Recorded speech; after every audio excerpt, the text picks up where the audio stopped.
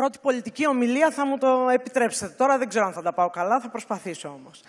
Ε, μου αρέσουν πάρα πολύ οι συσχετισμοί. Δεν, σας, δεν θα σας κουράσω, γιατί βλέπω ότι έχουν μείνει πολύ λίγες θέσεις, άρα έχετε κουραστεί ήδη. Ε, είμαι η Άννα Μαρία Ρογδάκη, είμαι μητέρα μιας κόρης 23 ετών που σπουδάζει πολιτικός μηχανικός, είμαι σύζυγος, είμαι επιχειρηματίας και μου αρέσουν πάρα πολύ οι συσχετισμοί, όπως είπα, οπότε θέλω να πω ότι η ιστορία επαναλαμβάνεται, γιατί πριν 31 χρόνια ένας άλλος Μητσοτάκης, ο Κωνσταντίνος Μητσοτάκης,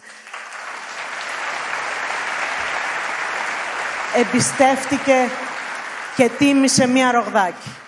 Τη μητέρα μου, την αείμνηστη κούλα ρογδάκι, η οποία τότε δεν είναι πια στη ζωή, η οποία τότε δεν πολιτεύτηκε βέβαια, πολιτεύτηκε την επόμενη τετραετία, γιατί είχαμε κάποια θέματα υγείας με τον πατέρα μου. Όμως έτσι ξεκίνησε η ιστορία. Κάποιοι το λένε οικογενειοκρατία. Εγώ δεν μ' αρέσουν αυτές οι λέξεις. Εγώ το λέω DNA. Το λέω κληρονομιά. Και αυτή την κληρονομιά είμαι εδώ να τιμήσω. Και να πω ότι λίγα πράγματα για μένα, γιατί δεν μ' αρέσει να μιλάω για τον εαυτό μου, θα τα καταφέρω όμως.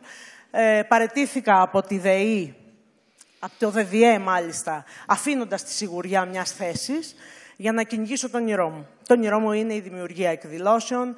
Έχω σπουδάσει design στο Λονδίνο και από ένα πολύ μικρό γραφείο στην Πάτρα, το οποίο ήταν σε έναν όροφο εκεί, ένα διαράκι, φτάσαμε να έχουμε μια εταιρεία η οποία έχει κάνει αρκετά events στην Ελλάδα και το εξωτερικό.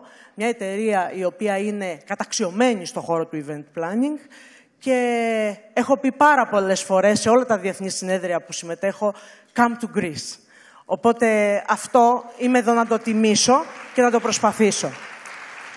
Η Ένωση Γυναικών Πάτρας ιδρύθηκε πριν 33 χρόνια από την αείμνηστη μητέρα μου. Αυτή την κληρονομιά τη συνεχίζω. Μας ενδιαφέρει πάρα πολύ η γυναικεία επιχειρηματικότητα, την οποία τη βοηθάμε με εκδηλώσεις και με πάρα πολλά πανευρωπαϊκά προγράμματα τα οποία τρέχουμε. Και η βία κατά των γυναικών.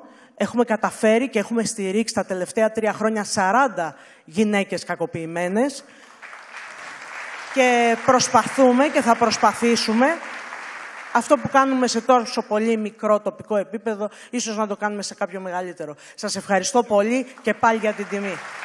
Ευχαριστούμε πολύ.